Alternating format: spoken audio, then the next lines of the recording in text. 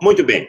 Bom, boa noite a todos. Eu gostaria, uh, num primeiro momento, de uh, trazer os meus agradecimentos, é, os meus agradecimentos a os convidados uh, de hoje para esse nosso, nosso bate-papo.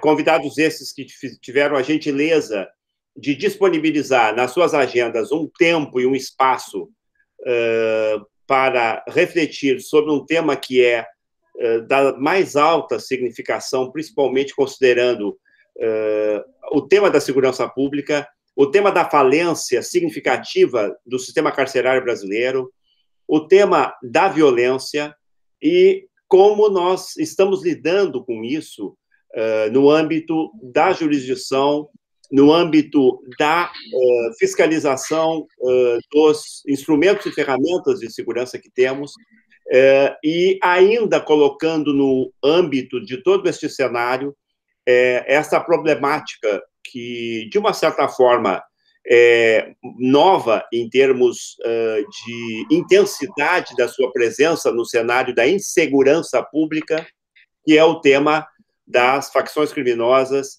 e como isso tem impactado a gestão de uh, políticas de segurança, políticas públicas de segurança, uh, e em especial no âmbito pontual da execução criminal, como isso tem impactado algumas medidas que, tomadas originariamente e ainda são como exceção, é, precisam ser cada vez mais é, administradas pelos gestores da segurança, pelos gestores do sistema carcerário nacional, já combalido, que é, por exemplo, esta figura do regime disciplinar diferenciado.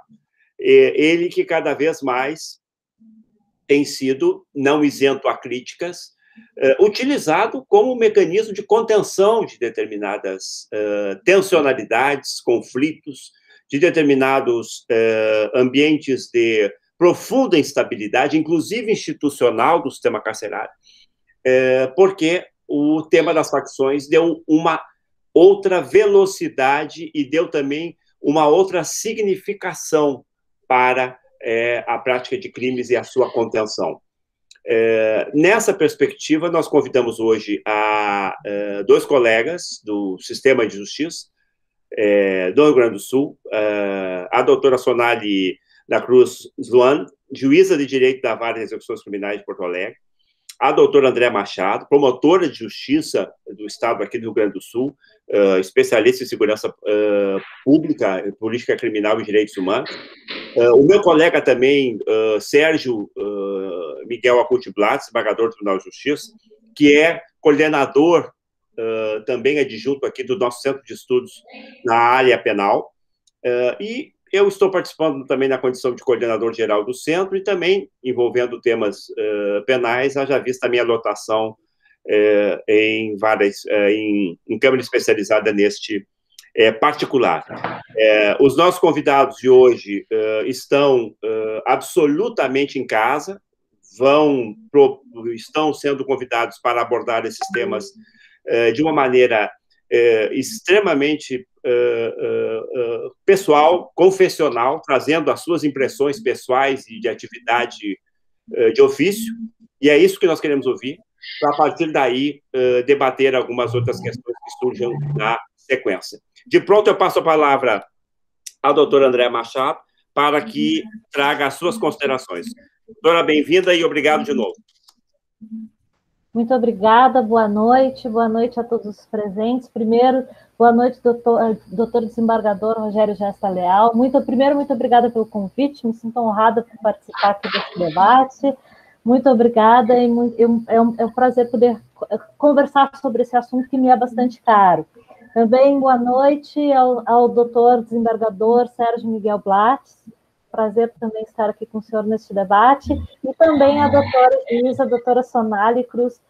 O seu sobrenome é Sluhan, eu erro, desculpa, mas eu acertei Sluhan? É? Ah, então tá bom, obrigada. Uh, então, doutora, doutora Sonali, também um prazer estar aqui com a senhora nesse debate.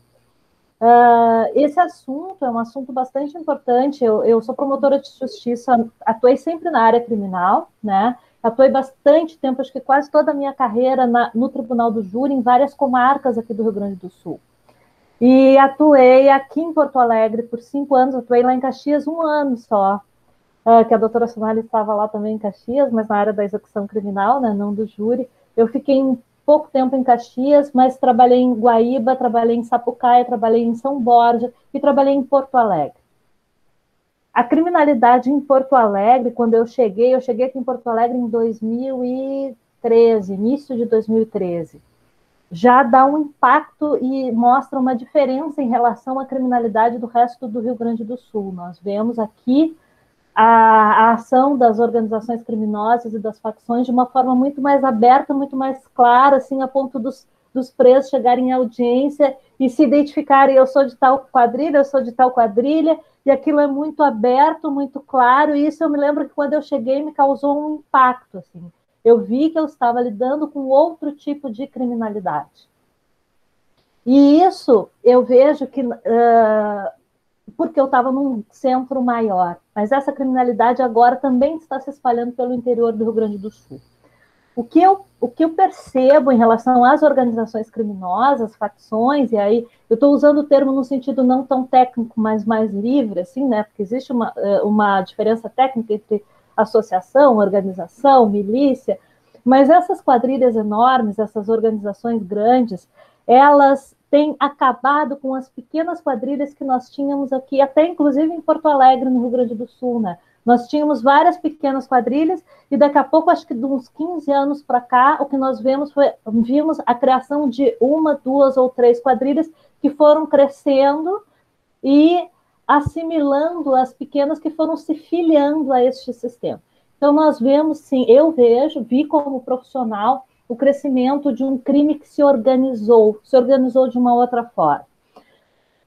Dentro desse cenário, que é também de maior violência, que é também de maior controle, é um cenário que se caracteriza pela ocupação de territórios, normalmente em comunidades carentes, que é onde o Estado não está, onde o Estado não está presente, e aí não existe poder vago, é um poder que é, então, assumido pelo crime organizado e que oprime uma população que mora naquele local, né, e que vive sob o jugo daquele poder, com as suas leis, com as suas. São, eu, eu digo que são comunidades que às vezes não, não, não enxergam a luz do Estado democrático de direito, não apenas pela ausência de serviços nesses lugares do próprio Estado, mas porque elas convivem diariamente com essa opressão dessas organizações criminosas.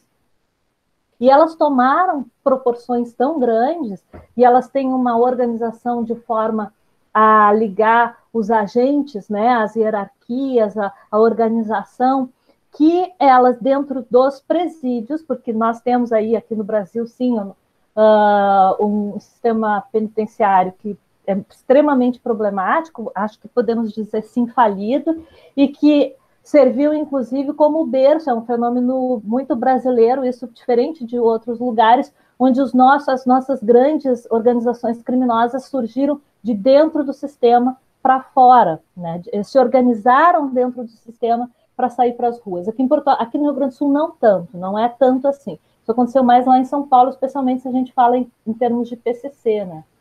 Mas aqui no Rio Grande do Sul também nós temos, então, essa, esse, esse território que se amplia para dentro do sistema penitenciário e, de, às vezes, de dentro do sistema prisional, se controla os crimes na rua. Diante desse cenário, que é um cenário extremamente complexo e que nós não podemos rapidamente falar sobre as causas, são, é, é são multi, multicausas, muito, é um, é um sistema com, de múltiplas causas, um sistema extremamente complexo, não dá para apontar qual é a origem disso sem, sem se fazer um, um, uma afirmação superficial, né? Então, mas dentro deste contexto é que nós temos alguns institutos jurídicos que serviram para tentar coibir e frear a ação dessas organizações criminosas. E aí eu faço só uh, uma, uma pequena. O RDD é uma delas, né? Faço uma referência também ao histórico desse instituto jurídico. O RDD no Brasil ele surgiu a partir daquelas rebeliões do PCC de 2001 em São Paulo, né? Nós tivemos aquela uma resolução em 2001 lá em São Paulo em razão de uma, de uma rebelião, e eu até estou com os números, porque são números muito impressionantes. No dia 18 de fevereiro de 2001, o PCC organizou 29 rebeliões em presídios, né? 29 rebeliões simultâneas. 10, era um domingo, 10 mil pessoas foram tomadas de reféns, e junto com isso, uh, delegacias foram incendiadas, fóruns foram atacados, quartéis do Corpo de Bombeiros também, e 58 pessoas morreram. Nessas 58 pessoas, há policiais, agentes penitenciários e presos, e reféns também. Então, assim, é um cenário horrível, né? É um cenário que requer do Estado um remédio que seja urgente. E o RDD surgiu como isso, como uma medida urgente contra este tipo de evento.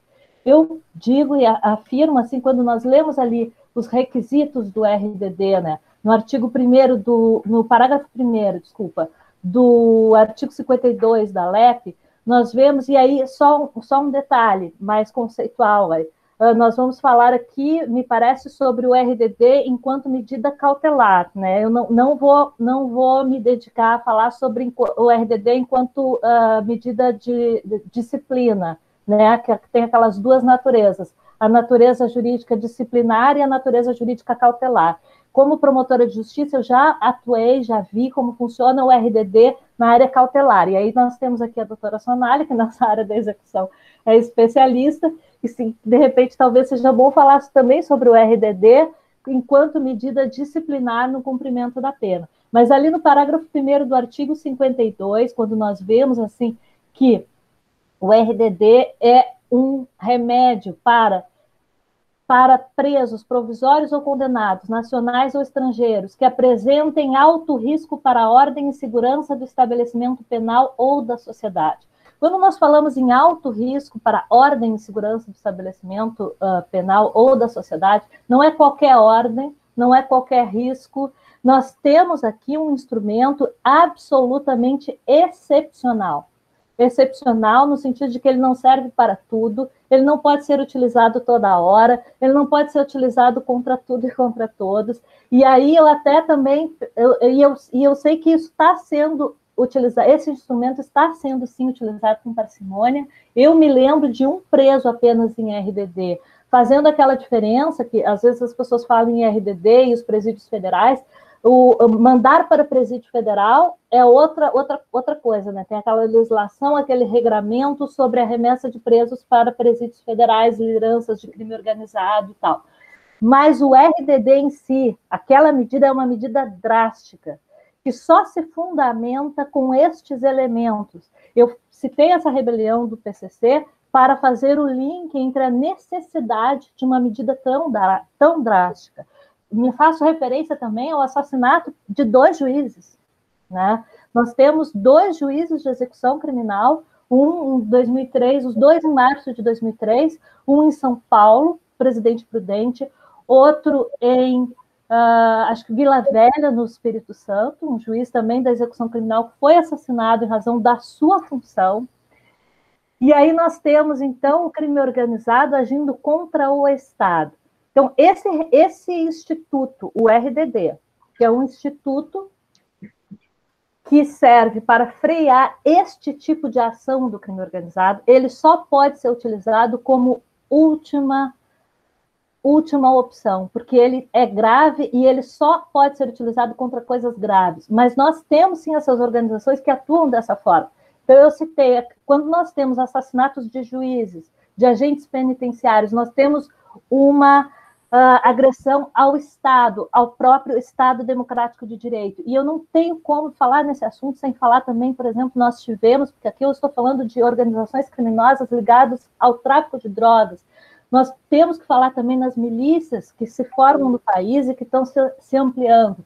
Nós tivemos um, homicídio de uma vereadora nas ruas do Rio de Janeiro. A milícia se sentiu à vontade de metralhar uma vereadora em razão de sua função.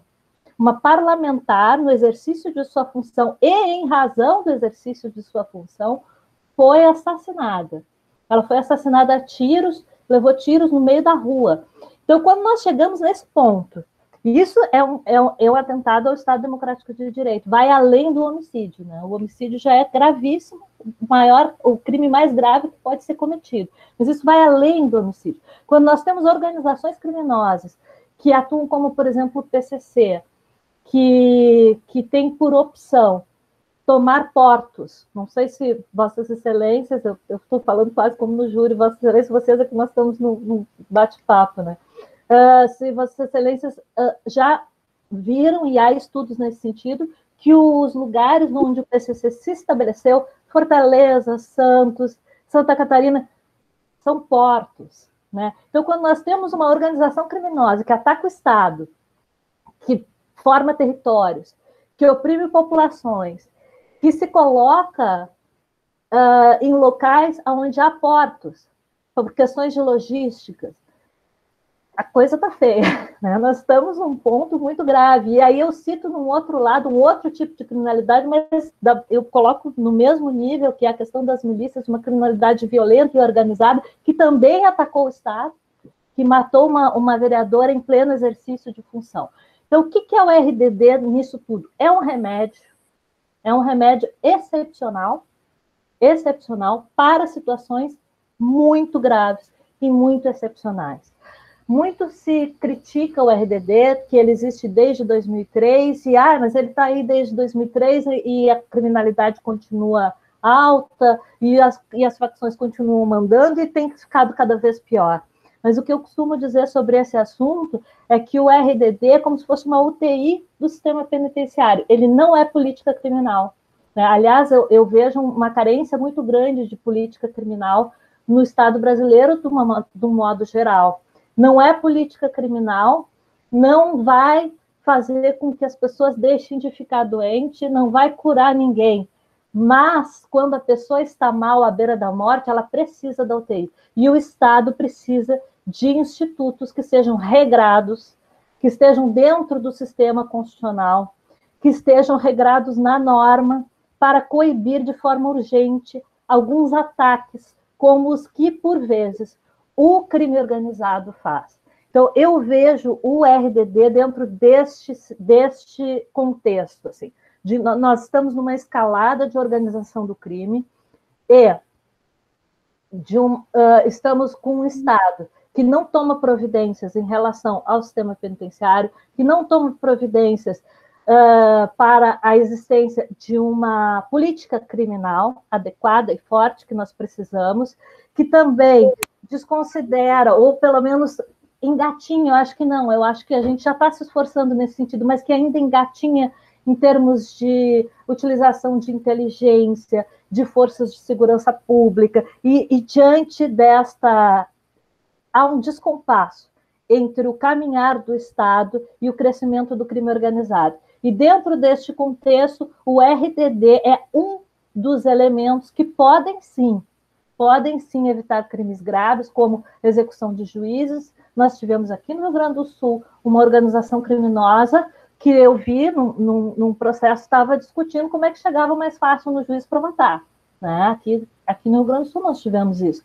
Então, quando a gente vê esse tipo de organização, há necessidade desses instrumentos mais severos, que devem ser utilizados de forma absolutamente excepcional, até para que eles funcionem como devem funcionar, né? Porque o que o que o que é para ser excepcional perde a excepcionalidade, também perde o seu efeito.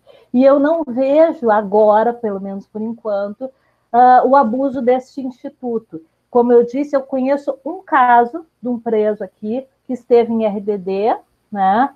Uh, não estou falando daqueles que foram para o sistema federal, esses, esses são diferentes, até podemos comentar também esse, esse, tipo de medida, que eu também acho que é uma medida que pode ser eficiente para afastar as lideranças das suas bases. Mas o, um preso, e não era nem pelos processos que ele tinha aqui no Rio Grande do Sul, ele foi para o RDD em razão de ter se envolvido em um homicídio no, fora do país, num contexto de guerra internacional de tráfico, e que deu origem às rebeliões em Manaus, os senhores devem se lembrar, em 2017, e lá em, no Rio Grande do Norte, também em Natal, que houve várias rebeliões. Então, nós vimos um preso que é daqui, que praticou um crime lá, que começou uma guerra internacional, e dessa guerra nós vimos aquelas cenas horríveis das pessoas segurando cabeça em Manaus em cima de um presídio, e é para isso que serve o RDD, é para esse tipo de fato, quando, quando se está à beira da perda de controle em relação a algumas situações específicas. Não sei se.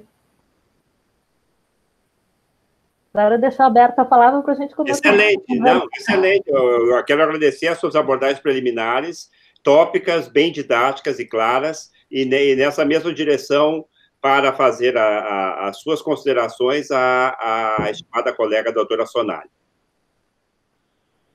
Meu boa noite a todos, muito obrigada pelo convite, é uma honra estar aqui conversando com vocês, é a primeira vez que eu participo, não tenho tanta prática que nem a doutora que trabalha em plenário, uhum.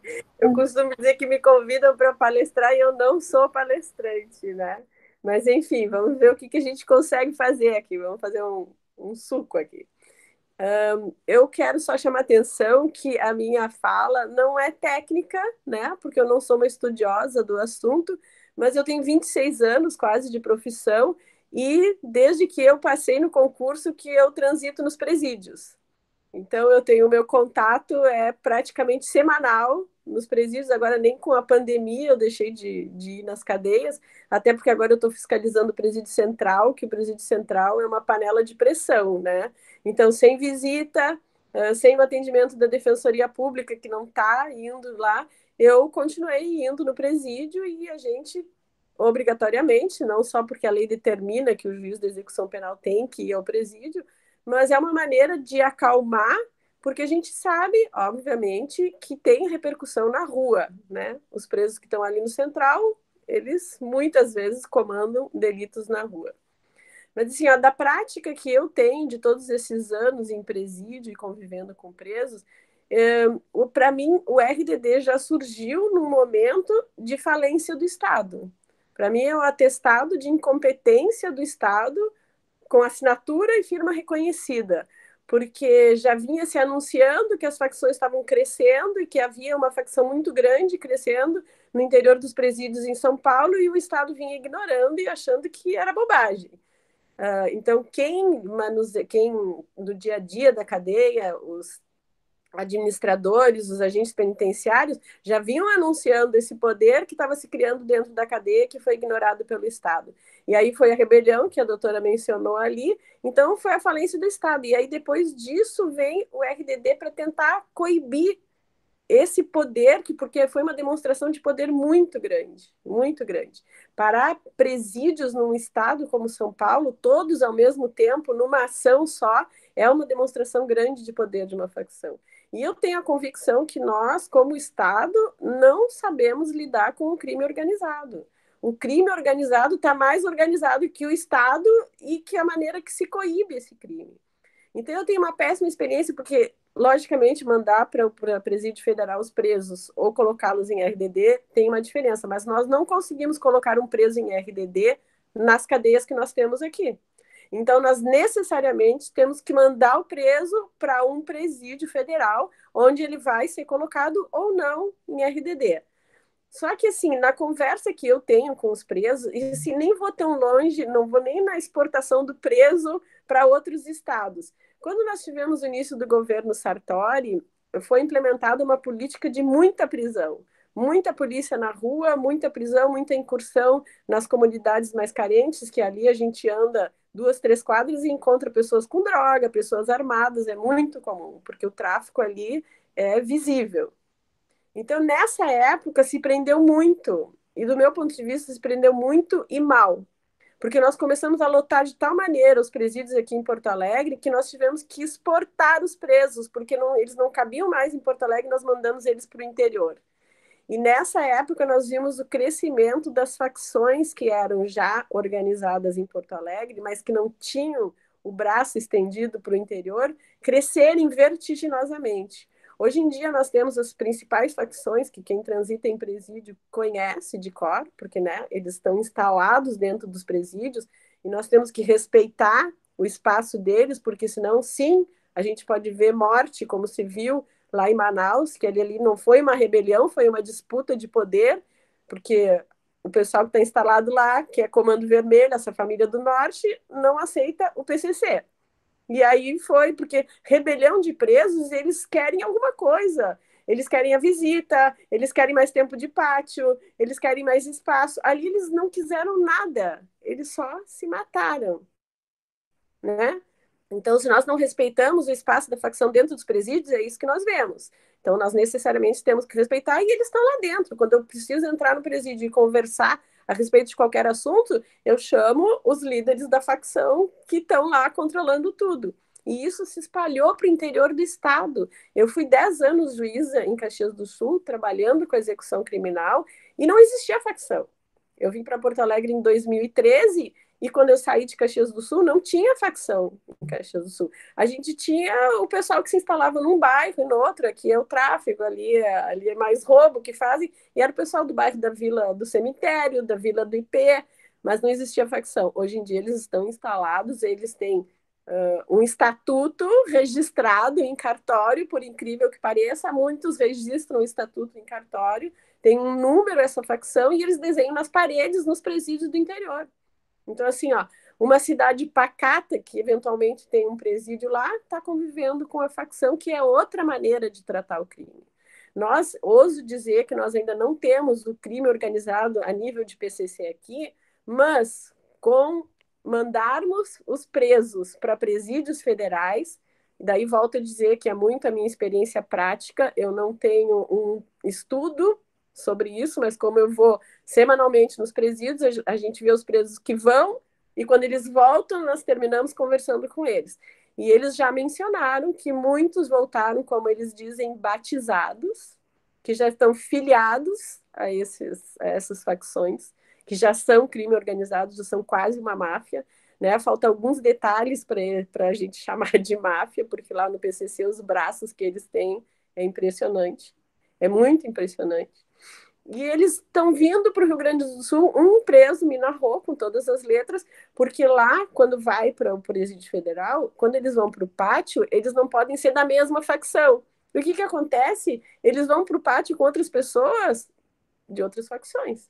E lá eles trocam contato, eles negociam rota por onde o tráfico vai passar. Os familiares do preso acompanham o preso. A gente pensar o preso está isolado, a facção manda o familiar, a facção banca, a, fa a facção paga para o familiar, que lá está em contrato com os familiares desses outros presos, muitas vezes muito mais perigosos, e eles voltam escolados no crime e no crime organizado, que é muito, mas muito mais grave do que a gente lidar com uma ganguezinha de bairro que se junta ali e comete roubos. Eles são desorganizados. Nós temos uma hierarquia de poder dentro dessas facções.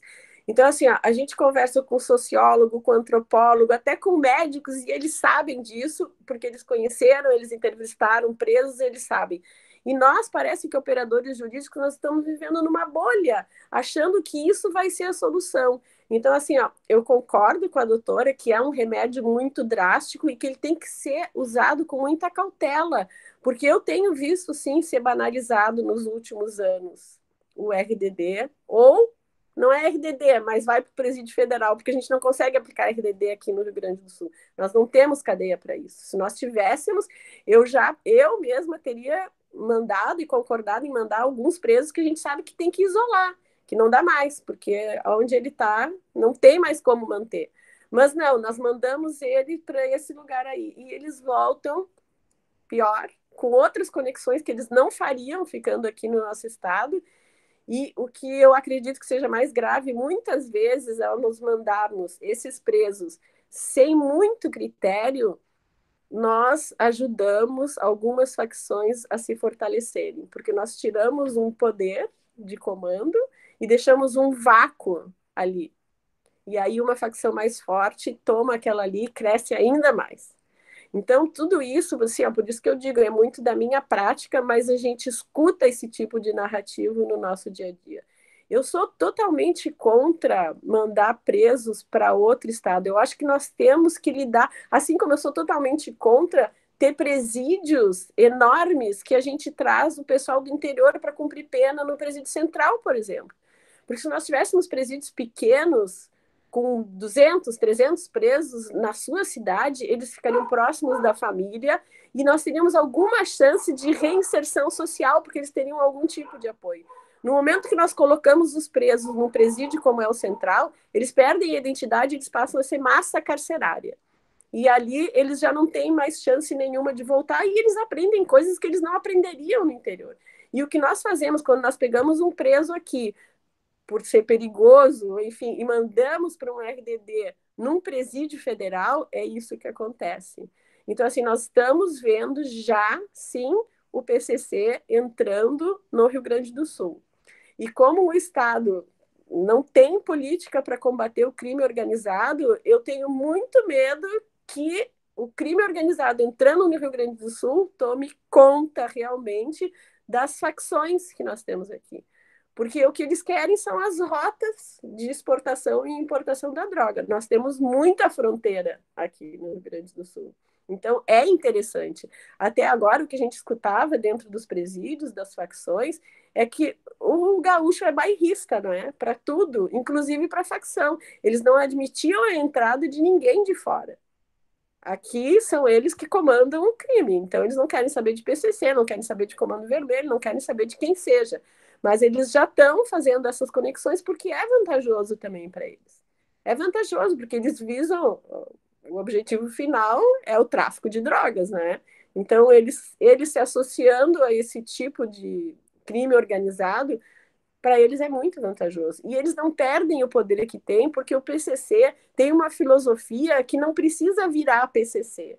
Basta seguir as regras do PCC e que está tudo certo, né?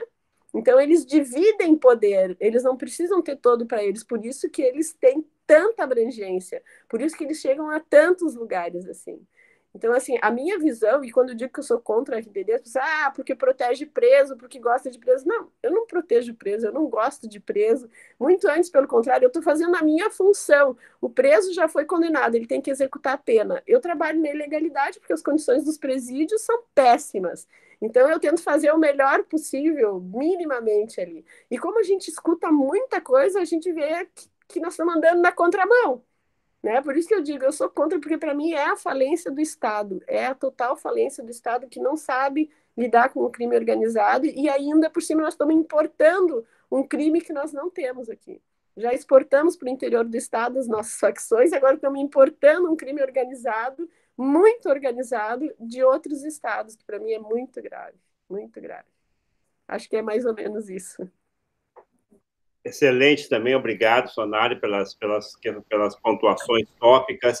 É, é, é, é, esta a ideia de, deste, deste evento, destes eventos que nós temos organizado, porque uh, há, uma, há, uma, há um grande, ainda há um grande divórcio, há um grande gap, um vazio muito grande entre uh, as atividades que as universidades desenvolvem no âmbito da formação dos, dos estudantes de direito e a realidade concreta de prática profissional uh, em todos os âmbitos da, desta formação.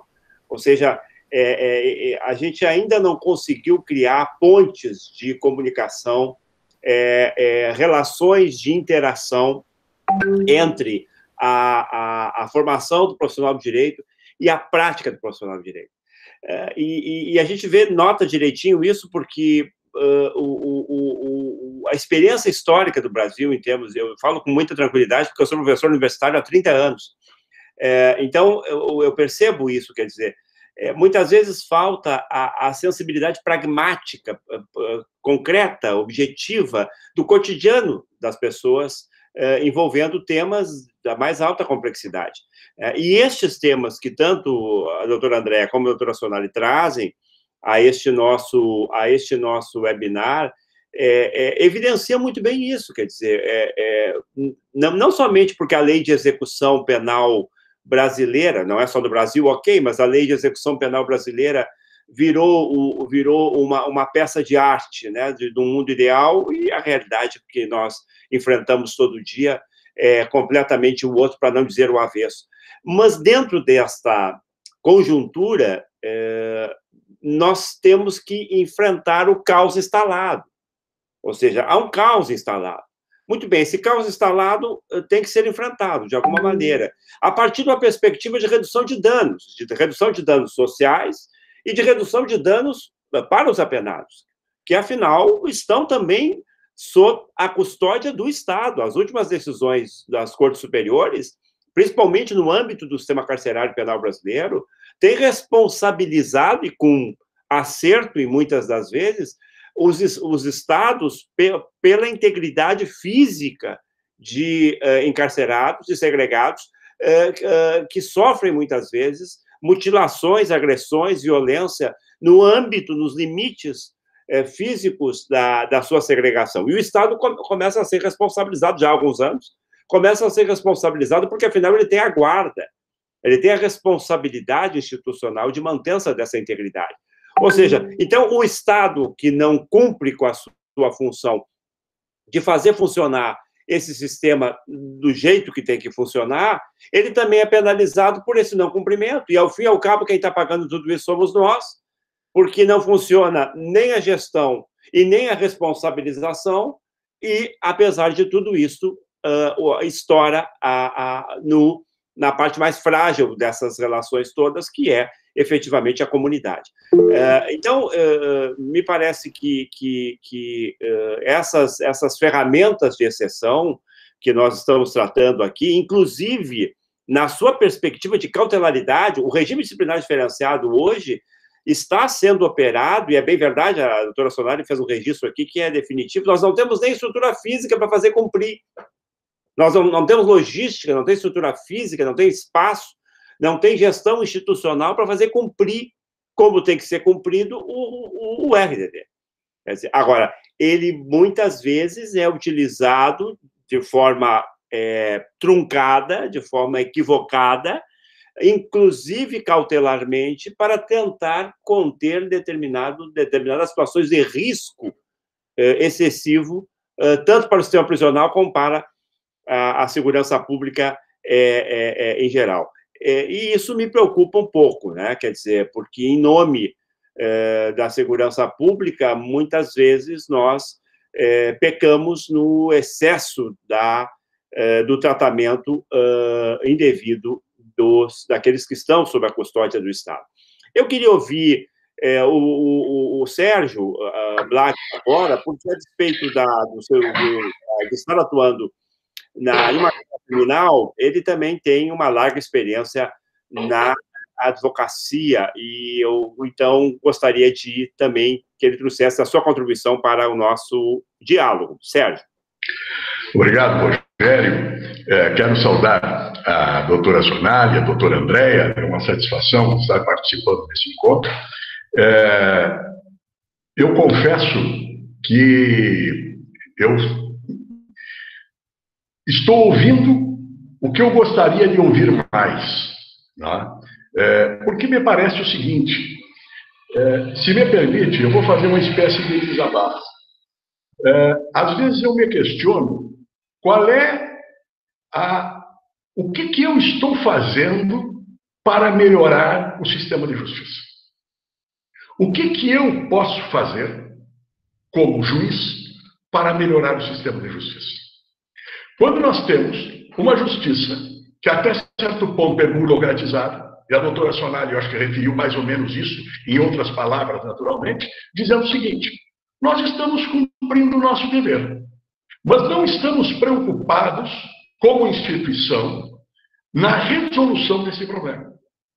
E hoje nós temos aqui a participação do Judiciário e a participação do representante do Ministério Público. Mas nós estamos tratando exatamente do quê? Do sistema prisional. E o sistema prisional não é da competência nem do judiciário e nem do Ministério Público.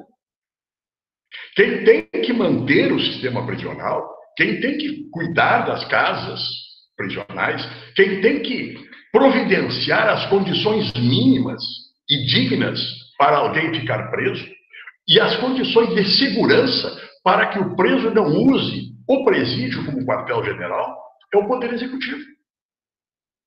E o Poder Executivo, quando intervém na segurança pública, intervém desta forma que a doutora Sonari disse, prendendo e fazendo estatística.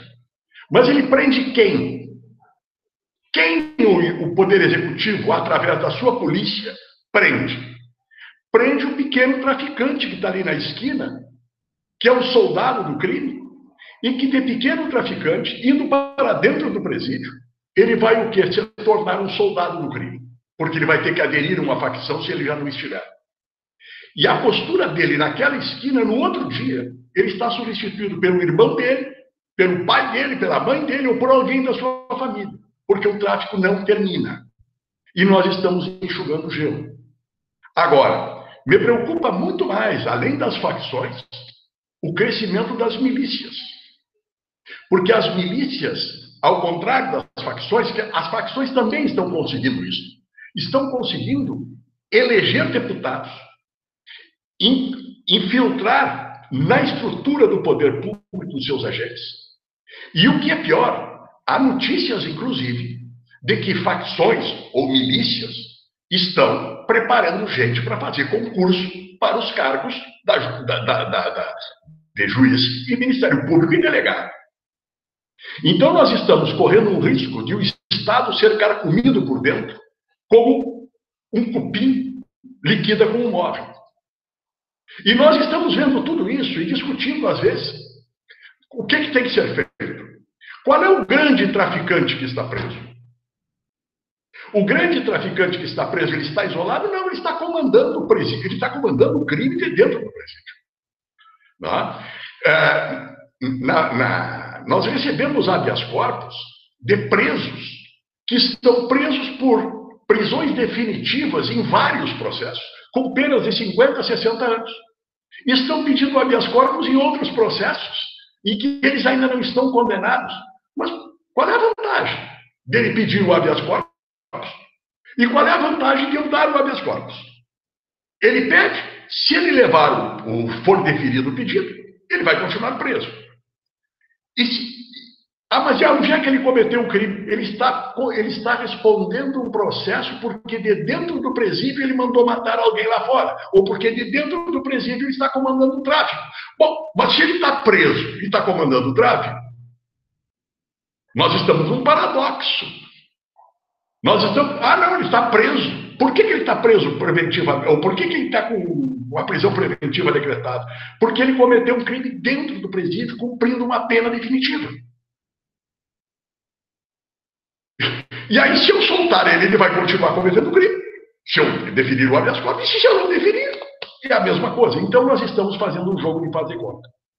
Eu, em outra oportunidade, que participei de um evento como esse, e na época com o doutor Marcelo, que era o procurador-geral, e com o doutor Cristiano, que era o,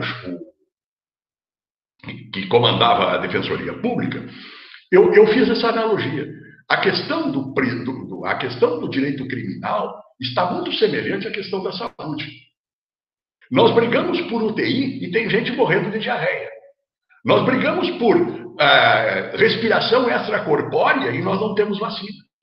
Quer dizer, nós brigamos às vezes por, por, por coisas de ponta. Por quê? Porque essas coisas de ponta são facilidades para se cometer o quê? Ganhos indevidos. Eu estou fazendo um desabafo. Talvez o que eu esteja dizendo pode estar até chocando a quem está me ouvindo. Né? Mas a verdade é a seguinte: o que, que faz o executivo? O executivo promove essa avalanche de prisões, de peixe miúdo, né? enquanto os tubarões continuam soltos. E quando se prende um traficante, esse traficante ele ainda não é o capo de tudo de capo. Ele é alguém que está na linha operacional. O que está lá em cima, o que pensa, o que investe, o que lava dinheiro, não é esse sujeito que está aí. Esse é um cara operacional. E ele é meramente um disjuntor. Chega nele, cai o disjuntor e não segue adiante para chegar lá em cima. E o que, que o Estado faz em termos de investigação para isso? Tá? E nós estamos lidando diariamente com isso. A doutora Sonari pode. Eu até faço essa pergunta para que ela responda depois. Tá? O percentual de presos por tóxico é quanto dentro do presídio? E o tóxico teve alguma redução com esta Babilônia de gente presa? Nenhuma. Nenhum. Pelo contrário, cresce cada vez mais. E este não é um problema nosso brasileiro. Tá? Nós sabemos, por exemplo, que Barcelona, ah, os portos da Itália são disputadíssimos. Tá? Por quê? Porque é através dos portos, através dos aeroportos, que entra o grosso do, do, do o grosso da, da droga. E não é essa droga que está sendo vendida na esquina, não. Ela está sendo vendida nos altos escalões, de gente que pode pagar. É? E isso nós não fazemos nada. E o Poder Executivo? Qual é a responsabilidade do Poder Executivo nessa questão dos presídios? Transformam os presídios em depósito de gente. Não? É? e a população, de maneira geral, a população, de maneira geral, não entende. Ela pensa que o preso tem que ser preso, que tem que ser incinerado. Ela não compreende que o preso entra e hoje ou amanhã ele vai sair do presídio. E se ele sair do presídio, ele vai sair pior que entrou. Então, então não está cumprindo o seu é? Então, essa questão, é, ela me parece muito interessante. E com relação ao RDD propriamente dito, ele também é algo para inglês ver. Ele é para inglês ver. É? Por quê? Porque, primeiro, ele proporciona que o, o, o crime se nacionalize, o que era regional fica nacionalizado. Ele proporciona um aprendizado, o camarada que sai aqui do Rio Grande para ser é, para o RDD lá em cima, como já foi referido aqui, ele vai voltar com maior, uh, um, maior nível de relação e de entendimento do que tem que fazer. Assim como os presos políticos estão na raiz do PCC, porque os presos políticos tinham organização e ensinar e, e, e os presos aprenderam com eles o tipo de organização. Né? Hoje as facções estão dominando. Então, como nós resolvemos isso? O RDD resolve ou não resolve? Ou nós poderíamos ter, o Estado poderia ter prisões com o regime do RDD firme, verdadeiro, aqui no Estado. E se não tem, por que não tem? Então, eu, é, a minha fala é mais um, é um desabafo daquilo que eu tenho me sentido, eu tenho me sentido impotente. E às vezes assim, eu digo, mas qual é a relevância daquilo que eu estou fazendo? Qual é a relevância daquilo que eu estou fazendo? Não? Aí condena um sujeito lá, foi pego com é, 50 gramas de, de maconha, 10 gramas de crack, Pena mínima cinco anos. E aí? E aí nós estamos nisso aí, né? Quer dizer, fazendo é, é, o, que se diria, diria um capa, é, é uma capatazia. Né? Nós estamos agindo como capatazes, fazendo aquilo que está na frente, sem nenhum planejamento, sem nenhum objetivo, sem nada estruturado para conseguir isso.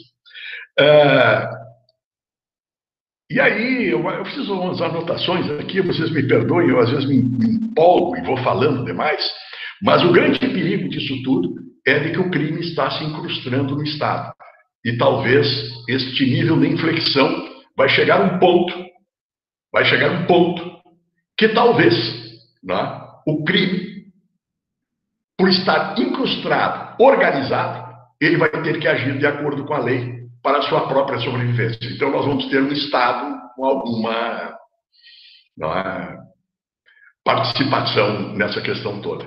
Eu, eu, eu até gostaria de. Eu, eu, disse isso, disse tudo isso, é que é o que eu penso, e que hoje foi, de certa forma, referendado por duas palavras abalizadas aqui, principalmente é, da doutora Sonari, que está lidando com esses presos no dia a dia, né, enfrentando uma, uma reação, digamos assim, política dos políticos uh, institucionais que não, não estão interessados em resolver a questão prisional, enfrentando a, a opinião pública que acha que é um absurdo, que está defendendo o preso e que é um, tem que defender os homens de bem.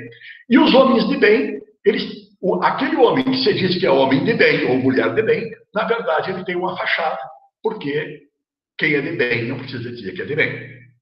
Tá? E, e assim nós estamos, doutor André, né? Neste, nessa encruzilhada braba e que o judiciário fica apanhando. Por quê? Porque o judiciário não determina quem vai ser quem vai ser uh, indiciado. O judiciário não determina quem vai ser denunciado. O, de, o, o judiciário funciona com aquilo que a ponta da persecução seleciona. E aí, seleciona, entrega para o judiciário, o judiciário julga e o que, que faz? Devolve para aquele que selecionou lá no início, que é o Poder Executivo, através da polícia. E aí o Poder Executivo, que na hora de prender é rápido, quando recebe o resultado daquilo que ele fez lá, ele não tem condições de resolver. Me estendi demais, Rogério, desculpe, mas é um entusiasmo. Não, é, o objetivo é, é, é, é isso, é, é, a gente apresentar as nossas impressões sobre esses assuntos todos. Eu gostaria, como coordenador, de, de, de, de, trazer um questionamento à doutora Sonália e à doutora Andréia, cada qual respondendo por sua instituição, é, no seguinte sentido. É, por óbvio que o Ministério Público é, ele tem uh, uh, uma atenção uh, declinada para estes temas de maior, digamos assim, periculosidade ou gravosidade de segregados que poderiam se enquadrar nesta situação de regime disciplinar diferenciado. Por quê? Porque bom, o Ministério Público tem uma atuação como a, doutora André acabou de referir, também direta no âmbito da, do sistema carcerário. É? É, e uh, lembro que, que, que, atua lá na minha Câmara, na quarta Câmara Criminal, o, o procurador Bortolotto, com quem que tem larga experiência no, no campo da, da, da, execução criminal, é, e, e, com ele trocamos essas, essas ideias durante muito tempo. Ele já participou de, destes, destes webinars que nós organizamos aqui no centro. É, é, e a, a, a, a, percepção dele sempre foi essa, de que, uh, sim, é, é, em determinadas situações, uh, o RDD teria uma importância, óbvio que não de solução, mas uma importância de gestão da, da, da, da periculosidade ou gravosidade da situação que envolve os, os, alguns segregados. Eu gostaria de saber, por parte do Ministério Público, a sua percepção enquanto uh, membro do Ministério Público, se uh, o Ministério Público do Rio Grande do Sul é, uh, qual a percepção que ele tem sobre a, a, a, a, importância do RDDD e também se ele costuma, em situações uh, de, de sensível gravosidade, se ele costuma postular é, esse regime. Então, de, de um lado, isso. E, e, e, e, qual é o perfil da postulação do Ministério Sim. nessa direção? E por parte da doutora Sonali, sabendo que nós não temos, uh, para não dizer nenhuma condição uh, ideal de execução do, do desse regime, uh, a pergunta que se faz é: é, negamos simplesmente uh, a, a, possibilidade ou a necessidade de nos valer dele para algumas situações de gravosidade que se apresentam, uh, e se não negamos, é, como viabilizamos, dentro do caos instalado do sistema carcerário gaúcho, em especial, a sua execução? A senhora tem alguma experiência é, nessa perspectiva de ter que instalar o regime mesmo que não tenha condições, as melhores condições ou condição alguma para a sua uh, efetividade? Para a primeira resposta, então, a doutora Andréa. Oi. Uh, eu, eu volto, além da, da resposta à sua pergunta, também respondo a essa questão que foi dita aqui né, pelo, pelo Dr. Sérgio Blatz. Uh, o RDD resolve. A grande questão é a seguinte: primeiro, eu acho que a gente tem que fazer a diferença entre o RDD e a remessa de presos para presídio federal.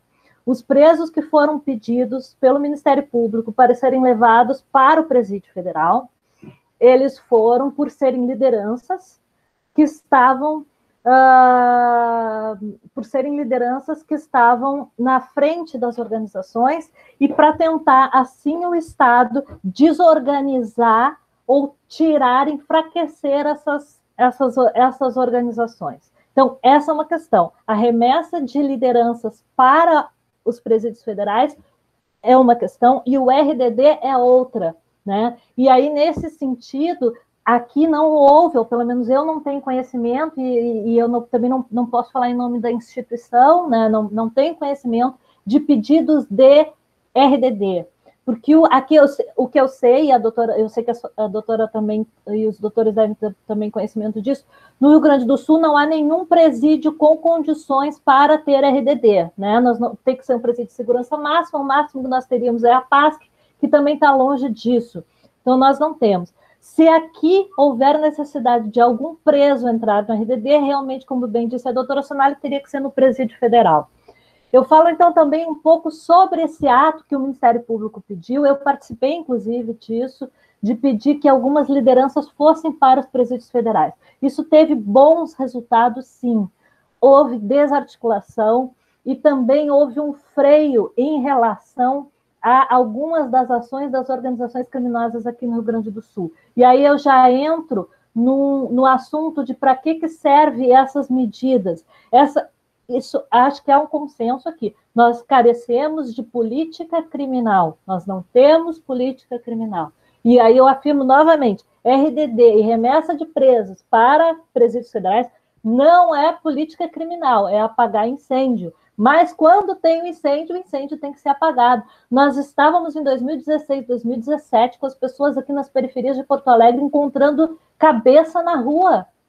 As, havia esquartejamentos na cidade de Porto Alegre. Porto Alegre estava com um índice de violência de guerra.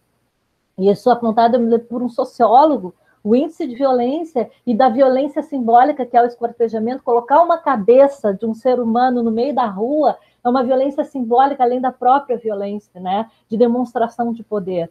Então, neste momento, foi necessário sim um desmantelamento dessas organizações para que alguns líderes saíssem e eles perdessem naquele momento o poder de mando.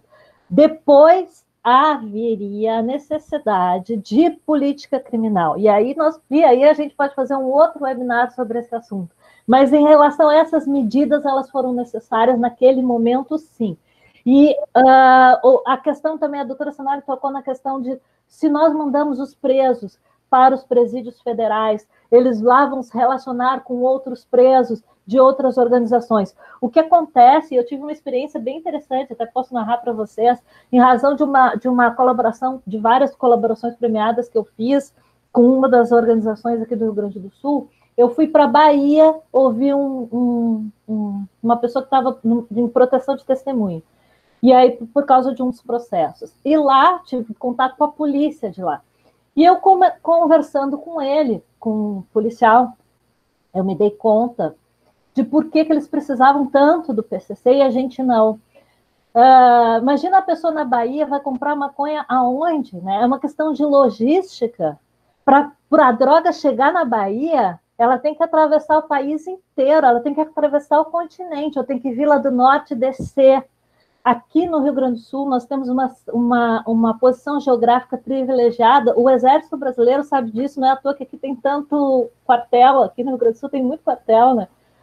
Nós temos uma posição geográfica privilegiada e esse é o principal motivo pelo qual as nossas facções não deixavam entrar o Comando Vermelho e o PCC mas já há bastante tempo eles têm relações de serviços, tanto algumas com o PCC e algumas com o Comando Vermelho. Mas eles não precisavam do PCC nem do Comando Vermelho. Lá na Bahia, uma organização para pegar droga, ela fez negócio com o PCC para economizar. por uma questão de logística. Aqui isso não precisa. A pessoa pega o carro, vai ali no Paraguai e compra. Quer arma, vai ali no Uruguai e compra. Então, por uma questão de logística, que nós sempre ficamos longe dessas organizações. E essas organizações, por outro lado, tam, apesar de ficar longe, sempre houve a negociação com essas organizações.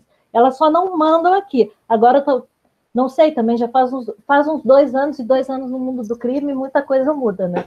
Que eu estou um pouco fora, estou lá na administração do MP. Mas uh, essa, essa é, uma, é uma circunstância que tem que ser levada em consideração. Nós temos um fator geográfico que nos privilegia, que nos afastou tanto do PCC quanto do Comando Vermelho, que são as principais organizações brasileiras. Outra questão, a, aqui no Rio Grande do Sul também houve, porque às vezes a gente fala em crime, esse é um outro problema do, do, do Brasil, assim, o crime em São Paulo é um, o crime no Rio de Janeiro é outro, o crime no Nordeste é outro, o crime aqui no Rio Grande do Sul é completamente diferente. Nós também, assim, as, a, o, o, as nossas organizações, elas foram para o interior pela rua, pelos presídios, sim, também pelos presídios, mas muito mais pela rua do que pelos presídios. Então, tudo isso tem que ser levado em consideração quando a gente fala em política criminal. E a política criminal tem que ser local, tem que ser organizada com a polícia que conhece a sua, a sua realidade. Né? Mas ainda assim, eu, eu afirmo que para o Ministério Público, eu, eu afirmo como promotora de justiça, eu não posso falar em nome do Ministério Público, né? Mas uh, é importante, sim, que se tenha este tipo de instituto. Primeiro, a remessa para presídios federais, e depois, se for necessário, a colocação de regime disciplinar diferenciado, né, que seria uma medida ainda mais drástica do que mandar simplesmente para o uh, presídio federal. Porque é a questão aí, fazendo também analogia com a saúde da UTI, né? Às vezes há necessidade e se há necessidade, tem que ser feito. Mas resolver, resolve, não resolve, até porque não é feito para resolver. Tu apagar incêndio não é resolver. Né? Nós temos que ter outros elementos, aí pode ser tema de um outro debate, um outro estudo, as questões de política criminal. O que vamos fazer com, com como, que, como que a polícia vai agir, como o Estado vai se organizar frente a esse crime organizado. São coisas diferentes. Mas como melhorar o sistema penitenciário? É uma coisa, são coisas diferentes, mas isso não invalida e não retira o valor da medida dessas medidas urgentes e necessárias às vezes, né, em, em, questões bem pontuais. Eu acho que isso tem que ser feito sempre com muita parcimônia, com muita excepcionalidade, identificação de lideranças e isolamento das lideranças, porque o principal ponto aí dessas medidas é o isolamento. E mesmo assim, eu tive aqui no Rio Grande do Sul um preso que estava em presídio federal e, na, e ele estava passando informação do presídio federal também. Eles são muito criativos. Ele estava escrevendo no corpo da pessoa que estava uh, visitando ele e agora até mudou a legislação, não pode mais ter contato físico por causa disso. Nos presídios federais, eles não têm mais contato físico, porque se tiver contato físico, eles vão passar informações. Então, o grande mérito dessas medidas é o isolamento de lideranças porque o isolamento de lideranças em um dado momento desorganiza aquela quadrilha. Mas aí tem que ter outra medida, e aí tem que ter um programa, e aí tem que ter uma política de segurança, e aí a gente pode deixar para um, uma outra oportunidade, porque aí o assunto é mais comprido. Tem que ser feita política de segurança pública. Obrigado, doutora Andréia. Doutora Sonali, por favor. Eu vou ser rápida, porque a gente se estendeu e eu tenho mais um compromisso. Tá ótimo. Assim, eu continuo discordando, eu acho que aquelas, aquela, é só esse, é uma questão de nomenclatura, né? Porque nós mandamos para o Presídio Federal, mas não incluímos no RDD, só que uma vez eles no Presídio Federal, para nós é indiferente se eles são incluídos ou não no RDD, porque eles ficam em cela isolada, com as duas horas de pátio, e atualmente, também por descrição deles mesmos, uh, evitar, não tem mais contato físico, mesmo não estando em RDD, lá no Presídio Federal eles não têm, inclusive com o um advogado, uh, disse que o preso estava conversando com o advogado, a advogada me relatou, e daí veio uma voz do além para o preso, você não pode falar isso para sua defensora, isso que não era para ser monitorado, então eles né, não estavam em RDD o preso, mas ele estava monitorado o tempo inteiro como se estivesse em RDD. Então é só uma questão de nomenclaturas mesmo. E naquela época que muitos foram enviados para lá, que houve muitos pedidos do Ministério Público, uh, eu tenho dúvida da desorganização dentro das facções, porque eles foram, voltaram, continuam com o poder, continuam mandando, ainda são como eles se chamam dentro do presídio, o 01 da facção, o 02, o 03, e aquela mortandade toda que se viu violenta foi uma disputa de facções por território na rua que se estabilizou porque eles conquistaram os territórios. Então, hoje nós temos uma disputa que não é mais essa de territórios, e por isso não precisam demonstrar poder uh, decepando cabeça, esquartejando, que era isso que eles faziam, não bastava matar, mas eles tinham que demonstrar poder, ou seja, a pessoa não podia nem ser enterrada, né? os familiares não tinham nem condições, era caixão fechado, porque eles estavam esquartejados. Isso se acalmou porque eles conquistaram alguns territórios, foram facções que surgiram naquela época e que estavam crescendo. O reflexo dentro do presídio nós vimos, porque nós precisamos arrumar a galeria para dar para uma facção que surgiu, porque eles não tinham onde morar. E isso foi toda essa luta na rua. E eu tenho dúvida, continuo tendo dúvida de ter desestabilizado, mandando algumas lideranças que voltaram e continuam com a liderança. Então, talvez falte, como a doutora disse, uma política que, que previna tudo isso aí, porque não adianta mandar, eles voltam agora por mais tempo, mas eles voltam. E se eles estão muito bem estruturados e realmente eles têm poder, eles não perdem o poder pelo fato de saírem um tempo daqui. Porque eles continuam com os contatos, os familiares continuam com os contatos. Enfim. E outra questão muito grave é que nós temos, não temos presídio para manter o preso em RDD aqui. A PASC é uma vergonha, a PASC é um vexame. A gente encontra celular na PASC em tudo que é cela, e isso que é uma pessoa por cela, e a gente fica pensando, mas como assim? Eles esse ano não tiveram visita e eles continuam tendo celular dentro da célula na PASC. Mas onde é que vem? Daí é drone, aí tem mil explicações, porque antes era sempre a visita que levava. E daí eles passaram um ano sem visita e eles têm o telefone celular. Então, como assim? O que está acontecendo? Né? nós não temos, nós não temos estrutura. Eu até, nós tínhamos, porque nossas decisões são colegiadas, e nós tínhamos um critério, vamos mandar para o RDD aquele preso que está realmente cometendo crime no curso da pena. Ele está cometendo crime, ele tem uma escuta telefônica, ele está sendo denunciado, ele não parou de cometer crime, esse, esse cara tem que parar. Uma hora ele tem que parar. Bom, então como é que nós vamos fazer ele parar? Ele vai embora, ele vai sair. Esse era o critério que nós tínhamos, mas eu vi banalizado, eu vi muito banalizado, com muitos pedidos feitos pela polícia, acatados pelo Ministério Público, e como eu disse, as decisões são colegiadas, mudou a nossa estrutura lá, eu acabei mandando gente que eu acho que não tinha que ir. E aqueles critérios do RDD ali, que é, é né, quando causa, eu não sei de cor, mas internamente no presídio, alguma comoção, enfim, os administradores dos presídios, das casas prisionais, eles dão graças a Deus que tenha uma liderança de peso, porque ela calma o presídio. Uma liderança da facção de, de, de peso na rua que está ali dentro. Imagina no presídio central tem galerias de 350 presos. Se eu não tenho uma liderança ali, acontece de tudo, porque são celas, não tem celas, é na... eles estão soltos ali, transitando 350 pessoas numa galeria. E, no entanto, por ter essa liderança ali, não acontece nada no presídio central. Quanto tempo não se vê rebelião e morte dentro do presídio central? E eu chego na boca da galeria, como se diz, para falar com alguém, e é um silêncio tumular lá para dentro, porque a liderança do preso está ali e diz: cala a boca. E eles ficam em silêncio total. Pode 350 pessoas no da galeria não se ouvem respirar. E eu consigo conversar como eu estou conversando com vocês, num tom de voz normal, não precisa nem gritar. Mesmo de máscara hoje em dia. Então, a, a, é, todos esses quesitos que vem na lei, todos esses requisitos foram esquecidos praticamente com esses pedidos de, de RDD, que para mim se massificaram.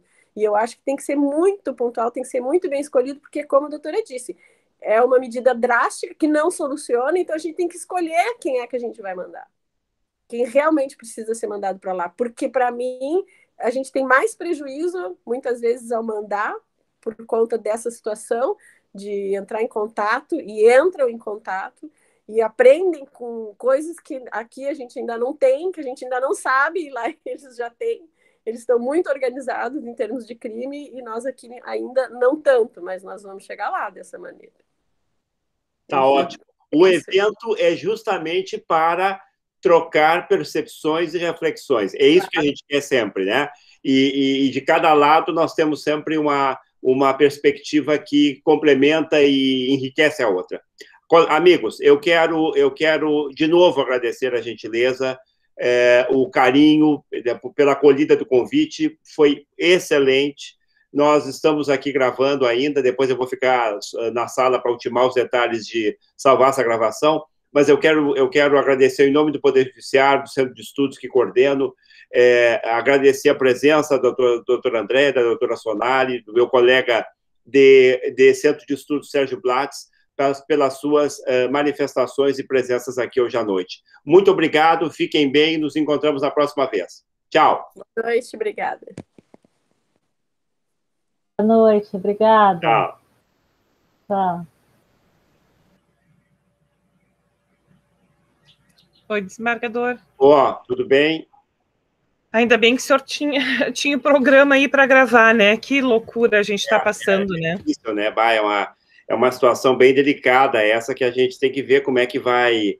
É, é, é, no grupo Drive de Rogério Leal, tá? É, interromper